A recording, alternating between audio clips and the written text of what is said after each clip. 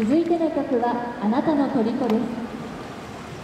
1960年代にフランスを拠点に人気を博した女性歌手シルビー・バルタンが歌ったこの曲は大ヒット曲「アイドルを探す」に次ぐヒット曲です。そのキュートな歌声はパリ独特の洗練された雰囲気と優雅な香りを漂わせて世界中のファンを虜にしました。その後も何度かリメイクされるなど皆さんも一度は耳にしたことがあるのではないでしょうか。それではリリー・エンジェルスの演技とともにあなたの虜お楽しみください。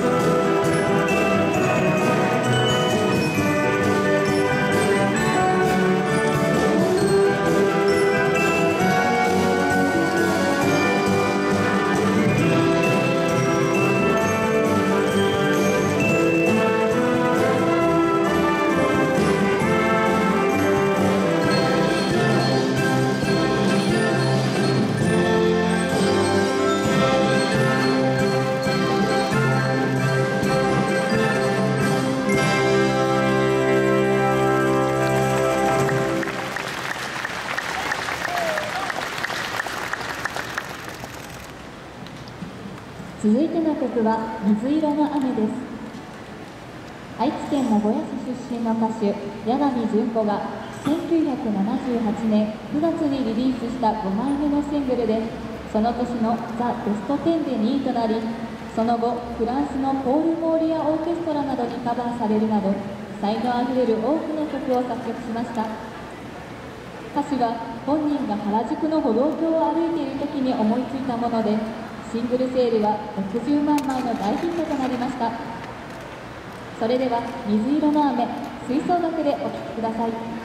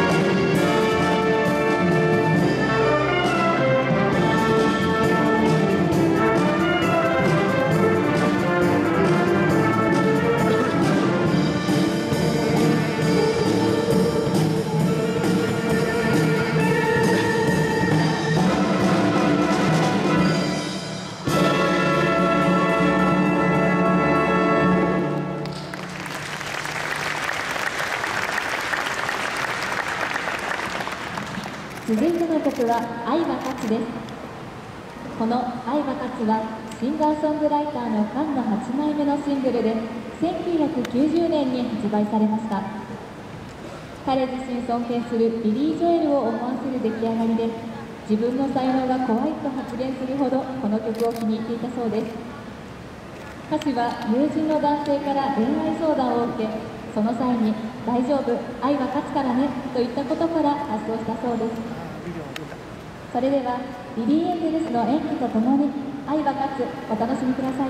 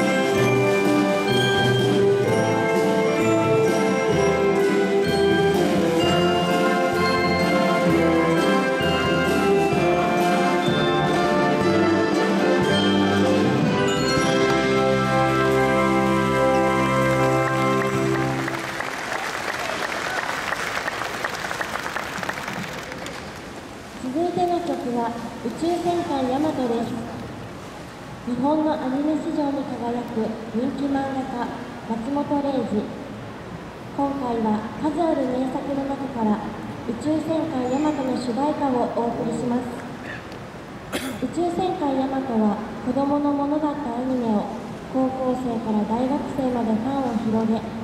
その後の銀河鉄道999機動戦士ガンダム新世紀エヴァンゲリオンなどのアニメブームの先駆けとなりました。また2013年4月から9月まで宇宙戦艦ヤマト2199として民放で放映されていました。それでは宇宙戦艦ヤマトの主題歌をお聴きください。